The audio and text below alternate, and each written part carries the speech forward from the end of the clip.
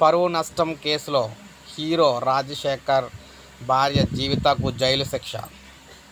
పరువు నష్టం కేసులో సినీ నటుడు రాజశేఖర్ జీవిత దంపతులకు నాంపల్లిలోని పదిహేడవ additional chief metropolitan magistrate court మంగళవారం రాత్రి జైలు శిక్ష విధించింది.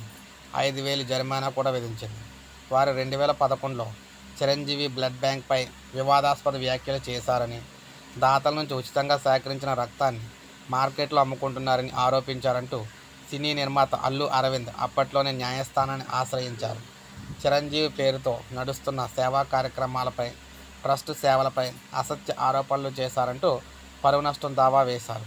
సుదీర్ఘ విచారణ అనంతరం నాంపల్లి కోర్టు తీర్పు వెలువరించింది. జరిమానా చెల్లించడంతో అప్పీళ్ళకు అవకాశం ఇస్తూ రాజశేఖర్ దంపతులకు న్యాయస్థానం బెయిల్ కూడా మంజూరు చేసింది. అయితే అరెస్టు బెయిలు అన్నీ కూడా వెంట వెంటనే జరిగినాయి.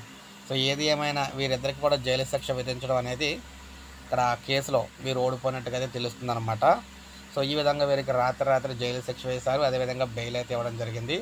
సో ఇప్పుడే మనకు అప్డేట్ అయితే వచ్చింది. ఒక లైక్ చేయండి సబ్స్క్రైబ్ చేసుకోకపోతే మన ఛానల్ సబ్స్క్రైబ్ చేసుకొని ఫాలో అవుతున్నాను